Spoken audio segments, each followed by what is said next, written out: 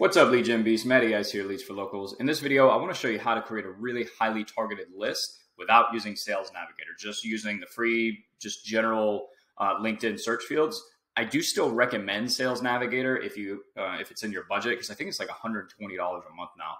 Uh, it's worth it if you're really active on LinkedIn, but if you're on a budget, uh, I, what I'm about to show you is a really really awesome way, and it's pretty simple uh, a pretty simple way of creating a really highly targeted list that you can prospect to, and then uh, take that list and put into Dux-Soup or WeConnect. That's the software that uh, um, the LinkedIn automation software that I use, and I recommend. I'll have a link down below. You can learn more about it. But um, you can take that list and start doing your your direct outreach campaigns. But you want to make sure, you know, anytime we're doing direct outreach, we want to make sure that our audience is, you know, it's a list of our actual uh, ideal prospects so I'm going to show you how to do that. So make sure you stick to the end. Uh, if you do any type of LinkedIn uh, marketing, this is going to be a really good video for you. So uh, my only ask as usual, guys, if you find the video helpful, please smash that like button. It does help. And make sure you subscribe. Check out all the links in the description. Always have uh, good additional training for you guys there. Let's rock and roll. So uh, what we need to do is, uh, so in the search field, we're going to search this the industry that you're going after. And a, a good example of this that I like to give for my clients uh, in my agency. Uh, we work a lot. We do a lot of marketing and stuff for the business loan industry, and one of the industries that my clients like to go after is uh, their construction business owners. So business owners in whatever type of construction uh, or whatever type of construction business it is. So we're going to type in construction here. Now, typically, what people do with their uh, when they're creating a list on LinkedIn is they use titles which in some industries you can get away with just using titles and, and get a highly targeted list. So, like mortgage brokers, real estate agents, uh, real estate investors, those are some good examples where it's very common for people in that industry to have that actual title.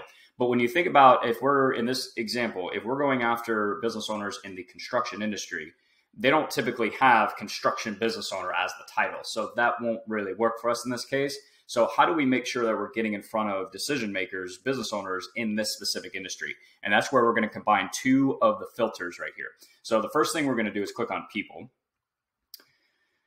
Okay, so we're at uh, 11.7 million results. We're going to click all filters. Now, uh, obviously, the first things we're going to do is click second and third connections. All right, and then we'll start with the United States. Now, I recommend if because with this when it when it comes to LinkedIn direct outreach, I like to focus more on the quality of my list, not the size of it. I, am not trying to get hundreds of thousands of people. We're not trying to get a very large audience like we would, maybe you know, doing Facebook ads or something like that. So uh, you can start with the United States if you're able to do that. Obviously, if you work locally, then you know, search your city.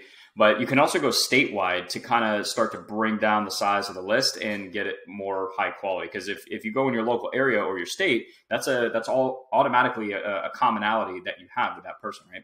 So choose your location. You can choose your industry as well. If your industry, if the industry you're going after is not on this list, don't worry about it. It's not a big deal. I'm gonna go ahead and check it for now. And then, uh, but the the main things that we're using right here, guys, title and company these two filters combined, doing what I'm about to show you, is really, really powerful. Uh, just a phenomenal way to create a highly targeted list. So, in this particular example, again, construction business owners they don't have that in their in their title. Typically, what they're going to have is owner. So these common uh, decision maker titles, right? Owner. Uh, we put O, um, capital O, capital R. So or, but it's got to be capital, and we're starting to create. I think it's called a Boolean search here but uh, it, both letters have to be capital, otherwise it won't work. So owner or founder or CEO or president, right? So we're typing in these decision maker titles. And then what we want to do, and this comes down to knowing your industry, which it's not that complicated. It's not a difficult thing to do. But in the company field, what you want to do is type in common keywords that are in the company names of the industry you're going after. Okay, so let me show you an example here. So we're going to type in construction because with it's kind of the opposite of what I was talking about with the title. They don't typically have construction business owner in their title. Uh, however, in their company name, that is very common in the construction industry, industry to have construction in their business name. So what we're doing here is we're getting in front of people who are owners, founders, presidents, or CEOs of a company that has the keyword construction in it. Guys, phenomenal way to get in front of the exact industry that you want right here. So let's click show results and see what happens. And what we want to do is start to scroll through this list here. And uh, so you can see we're at uh, 156,000 results so far. And let's let's see what we have here. Uh, real estate uh, development group, Newcastle Homes, that's construction, uh, Hillside General Construction, construction, construction president, owner, right? We're checking the titles and then the companies that they are the owner, founder, president of, right? To make sure that we're on the right track here. The other thing we want to do is we want to keep our eye out for additional keywords that we can add to the filter if we if we find something.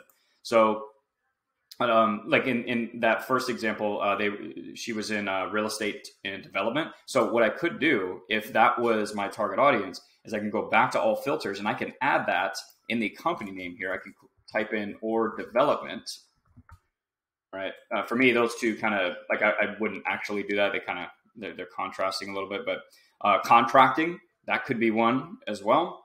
So uh, now uh, as you can see, I mean, we're, we're definitely on the right track here. But um, the other thing that we want to do is actually go down the list to see because we we want consistent results. Like you're you're going to get your you know really good results on like the first 10 pages or so but we want to see what does that list look like you know on page 15 20 you know uh, is it are they still owners and business owners decision makers in the industry that we're going after so we're on uh, page 8 here president, CEO, development and construction group, Ferris Construction, president owner at Christel Construction. So we're still on the right track here. So, you know, you want to go down the list of pages here just to make sure that you're on the right track.